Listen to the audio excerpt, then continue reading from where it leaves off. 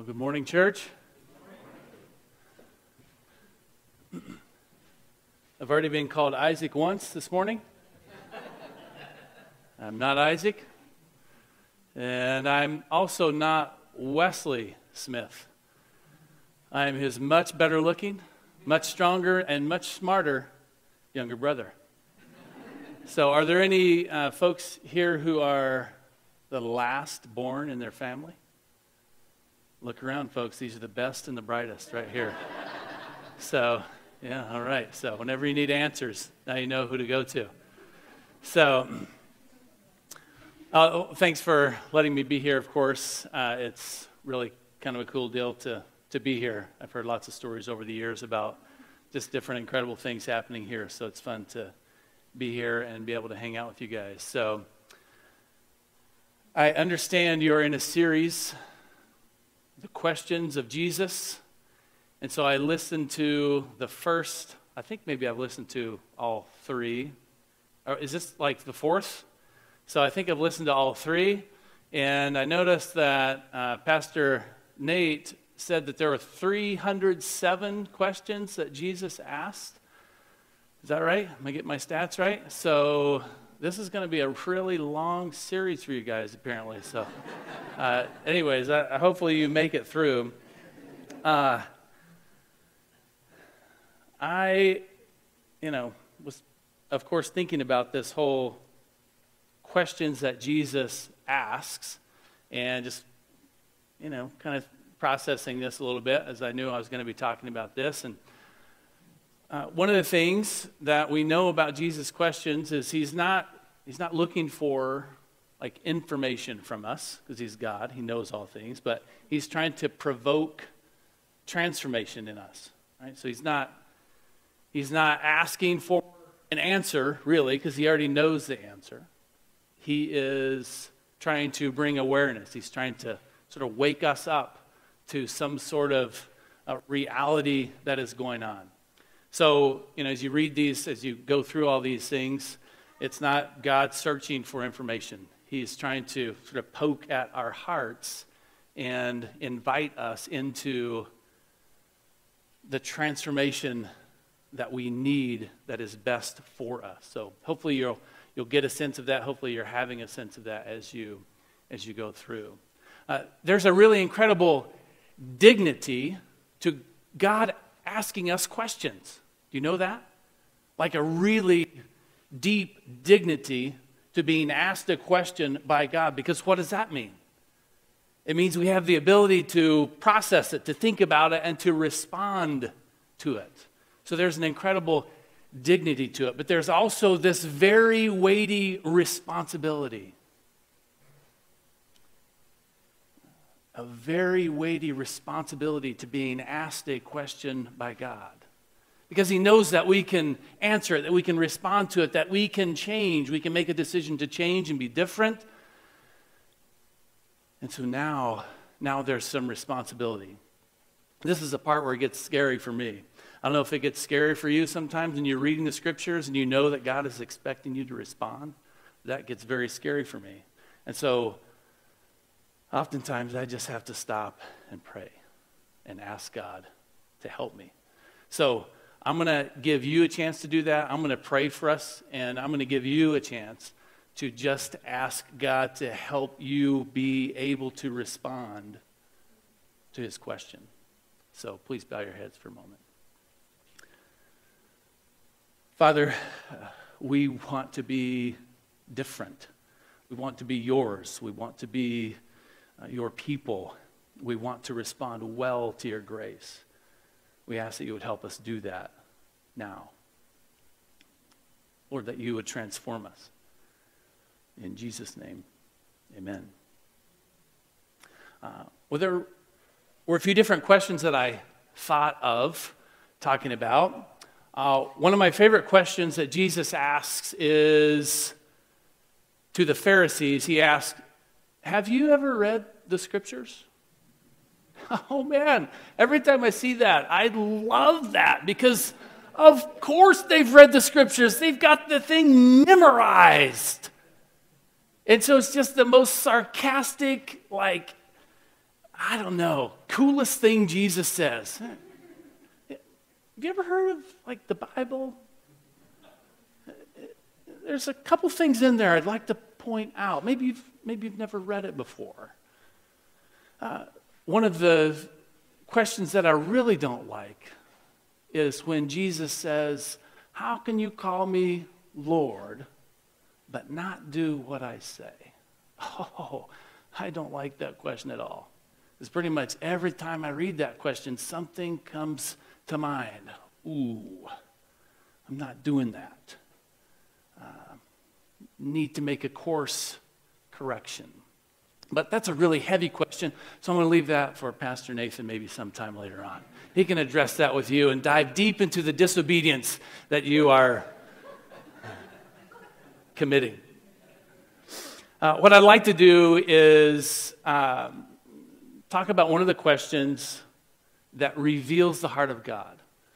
Because when we see the heart of God, we respond to that. And that is what transforms us when we get this glimpse of the heart of God uh, for us. So, that question is found in Luke chapter uh, 15. And in the first few verses, uh, we're going to see that question pop up.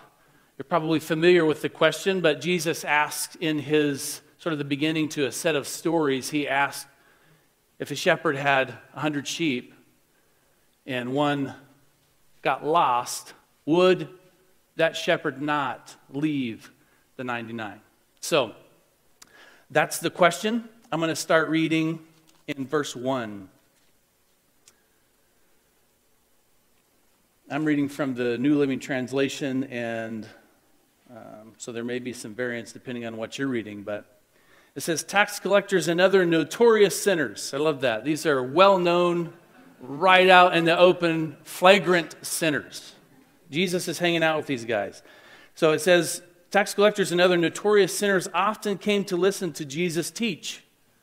This made the Pharisees and teachers of religious law complain that he was associating with such sinful people, even eating with them, which was this sign of intimacy with somebody, like true friendship with somebody. And they were under strict directions from the Pharisees to be separate from anybody who did not honor God, as they were defining it.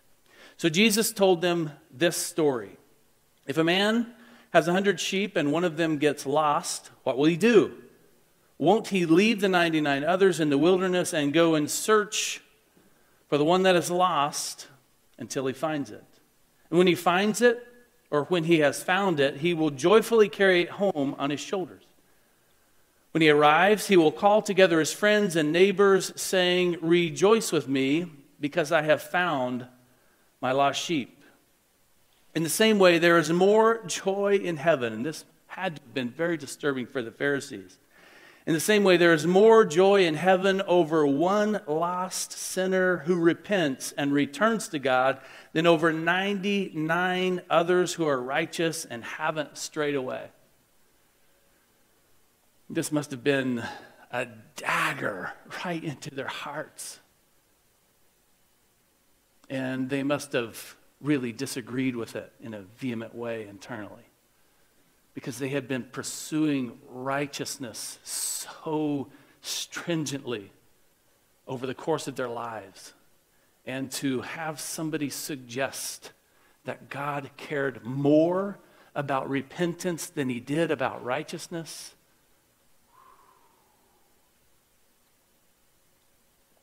Something that would have popped into their minds as soon as Jesus brought up this analogy of shepherd and sheep. Would have been Exodus chapter 34. So if you want to turn there, you can. I think it'll be up here as well. But uh, remember, these, this audience that Jesus is addressing with this question, they have the Old Testament memorized. Uh, they, they play games like um, to decide who's the greater rabbi, for example, because there's a lot of competing rabbis. That's one of the reasons that people don't like Jesus, is because Jesus is really, really sort of destroying their popularity because Jesus is rising and they are not. They are going down and down and down. And so they're having big problems with Jesus. One of the things they would do as rabbis to sort of decide who is the best rabbi is one rabbi would ask another rabbi a question. That rabbi would respond with another question. And they would keep going back and forth until one rabbi had no answer. So you see throughout, throughout the scriptures that it's often at the end of one of Jesus' teachings or his discussions with these Pharisees, it says, and they were silent, or, and they had no answer. And what that means is Jesus is awesome, and he is the best rabbi. So when Jesus began this answer, or began ask the question and begin telling this or giving this example, showing this analogy, this passage would have immediately jumped into their minds because this is where God identifies the shepherd and the sheep and uses this analogy. This would have been incredibly familiar to them. So, this is what it says. Then this message came to me from the Lord Son of man, prophesy against the shepherds, the leaders of Israel. So, now when, we're, when Jesus is telling his story, when he's giving his example, the Pharisees know immediately Jesus is talking about them. They are the shepherds, the leaders of Israel. Give them this message from the sovereign Lord What sorrow awaits you, shepherds who feed yourselves instead of your flocks? Shouldn't shepherds feed their sheep? You drink the milk, wear the wool, butcher the best animals, but you let your flocks starve. You have not taken care of the weak. You have not tended the sick or bound up the injured. You have not gone looking for those who have wandered away and are lost. So Jesus isn't just pulling this example out of thin air. Jesus has given this example before. Instead, you have ruled them with harshness and cruelty. Doesn't he confront the Pharisees so many times for the way in which they are leading? So my sheep have been scattered without a shepherd, and they are easy prey for any wild animal. They have wandered through all the mountains and all the hills across the face of the earth, yet no one has gone to search for them. Shepherd's responsibility, right? Therefore, you shepherds, hear the word of the Lord. As surely as I live, says the sovereign Lord, you abandoned my flock and left them to be attacked by every wild animal. And though you were my shepherds, you didn't search for my sheep. When they were lost, you took care of yourselves and left your sheep to starve. Therefore, you shepherds, hear the word of the Lord. This is what the sovereign Lord says.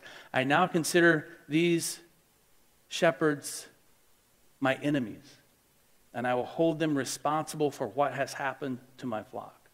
I will take away their right to feed the flock, and I will stop them from feeding themselves. I will rescue my flock from their mouths. The sheep will no longer be their prey. For this is what the sovereign Lord says I myself will search and find my sheep.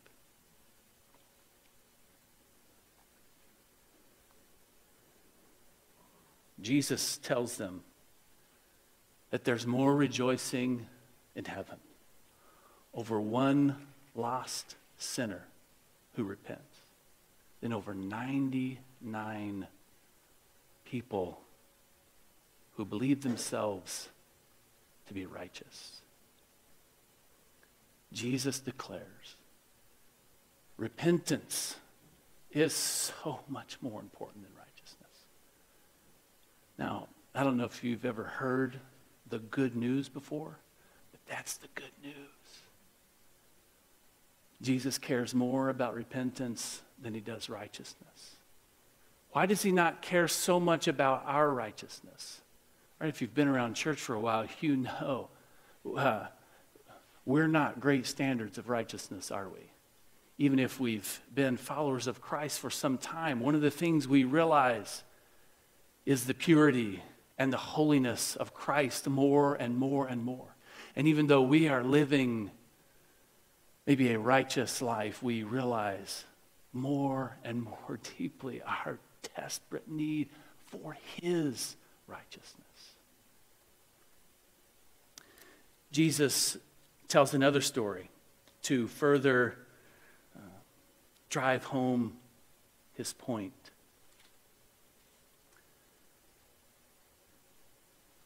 He says, Or suppose a woman has 10 silver coins and loses one. Won't you light a lamp and sweep the entire house and search carefully until she finds it? And when she finds it, she will call on her friends and neighbors and say, Rejoice with me, because I have found my, last, my lost coin. In the same way, there is joy in the presence of God's angels when even one sinner repents. So the image here is of uh, perhaps an older woman who has been widowed and is left with her dowry, a small amount of money for her to uh, survive on. Uh, the cash equivalent for these 10 coins that she has been given would be like $1,600 in our day. Not much to live on. And imagine that she loses one tenth then of her retirement account, which is very small. You can just sort of picture the passion with which she would have searched for that lost coin. I mean, that was life to her. And she needed it desperately. So she gets her broom out and she's sweeping the floor and hoping that coin will rattle between the cracks in the rock and the floor, wherever it's lost, so she can hear it and so she can find it. But she is desperately seeking to find this lost coin. And so the heart of the Father is revealed. He is desperate, desperate for a relationship. He is desperate for us to experience incredible, abundant life in Him, true life in Him. He is desperate for us to see the lies of the enemy, the deceit that is being, being brought on us again and again. He is desperate for that. He is searching for us and he will continue searching because something is missing. We are missing from the family of God if we are lost, and he will search for us. He's trying to invite these Pharisees to see the heart of God. Don't you understand what God is about? He's saying in his stories and in his questions. And then, of course, you know, he goes into the story of the prodigal son. And he tells this story of a son who completely offends his father in the most egregious ways. And in their opinions, he should have been, you know, stoned immediately for the offense that he, that he, or the way in which he offends his father. But his father lets him go. He lets him go into full rebellion. He gives him free will. He gives him money, resources, everything to go screw up his life in every way he wants to because his son has decided that he knows better than the father. And his father says, Go and see. Go and see. And his son tries it out. He tries it out. He seeks temporary pleasure. And we know the story, right? We know he gets to the point where he breaks. He gets to the point where his circumstances are so desperate that he has only one recourse, and that is to return to the Father. He knows, he's processed it, he's figured it out. My way just isn't working. This is not going to, I'm, I'm done. And he decides to surrender himself to become, hopefully, a servant in his father's house, to enslave himself to the father because he knows his father at least will treat him well.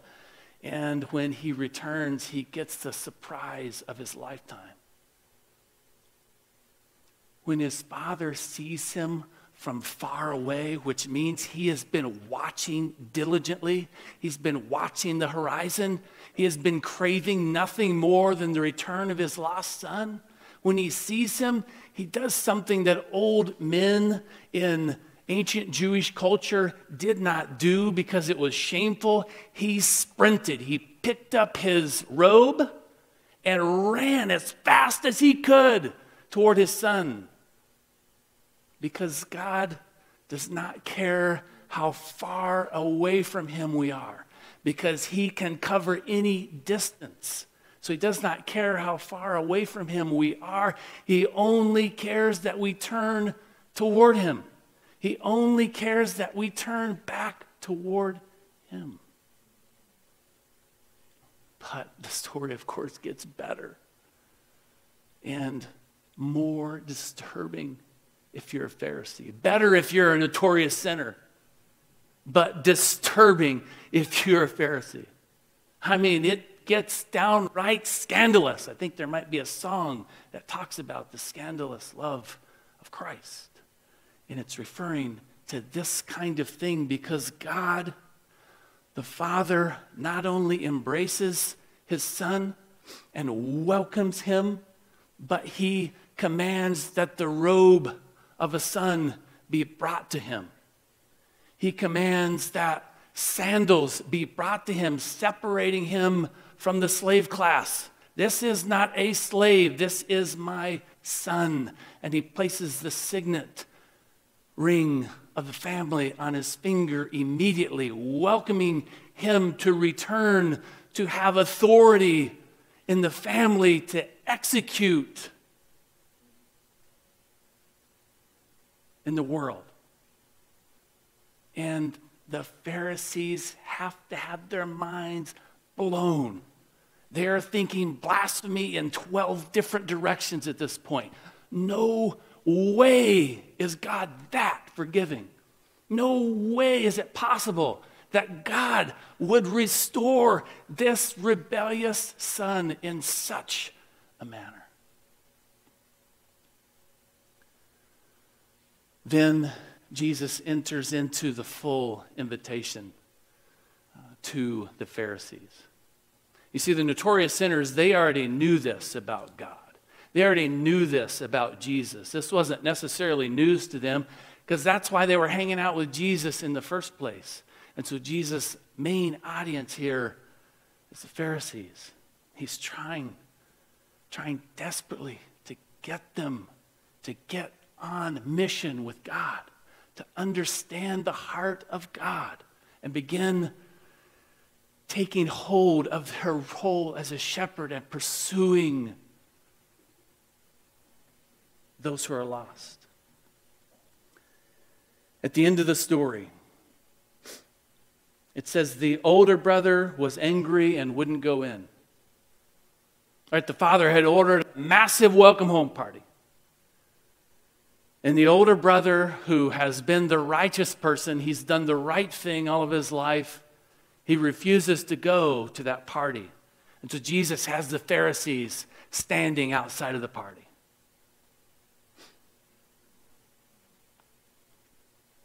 It says his father came out and begged him. Let me assure you that this would have never happened in ancient Jewish culture at the time of Jesus. Fathers did not beg their children. Fathers had the authority to have their children executed. Fathers had absolute authority in the home. They did not beg with their children. But Jesus is revealing the heart of God the Father, the patience of their Father, if they would be willing.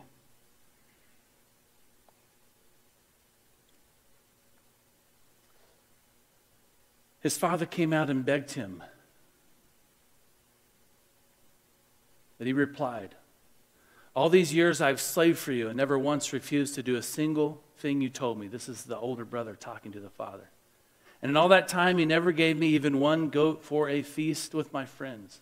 Yet when the son of yours comes back after squandering your money on prostitutes, you celebrate by killing the fattened calf.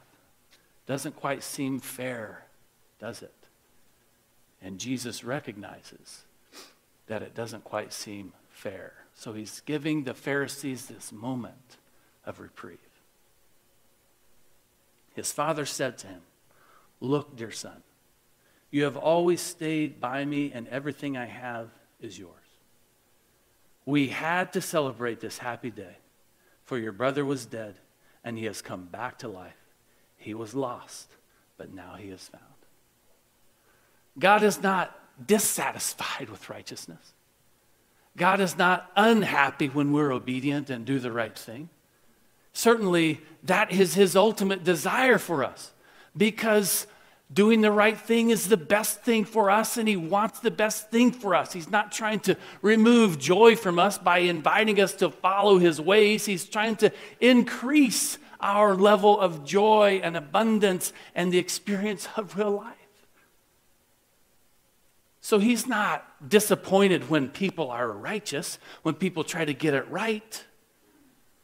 But he is saying there's something that's more important. There's a bigger story at play. And it's when somebody repents, it's when somebody turns back. Oh, that's the thing that we are going to celebrate. That's the thing that I am after. And so, when Jesus asked this question of them, if a shepherd had 100 sheep and one went lost, wouldn't that shepherd leave the 99 and go and pursue the one who is lost? He is inviting all of us to get on mission with God to devote our lives to pursuing those who are lost, to devote ourselves to sharing this incredible good news that we know, that we have experienced, that we have seen. So, there's one invitation here for any notorious sinners in the room. There's one invitation for those who well, they know they're not righteous. They've tried things on their own. And they're starting to figure out this really isn't working super well. I think there's a better path.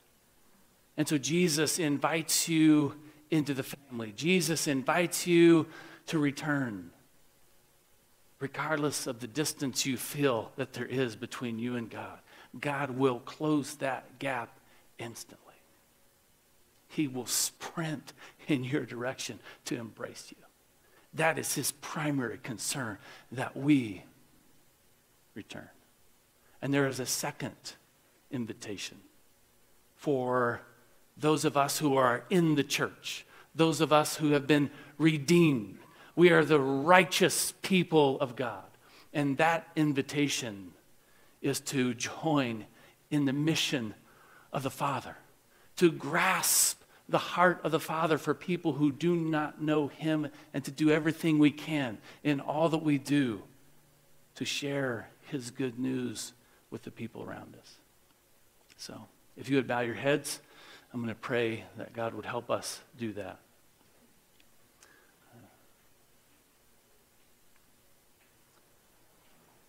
Father, this is a world full of difficulties and distractions. The enemy is constantly trying to get us to focus on those things, focus on our own failures, focus on what we perceive to be our inabilities.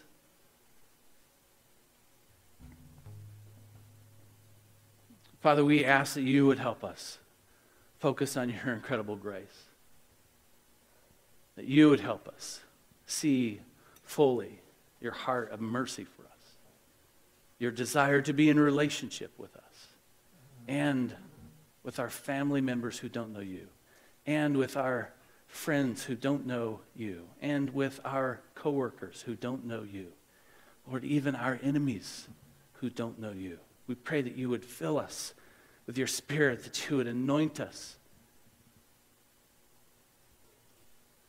to be ministers of reconciliation. We pray this in Jesus' name. Amen.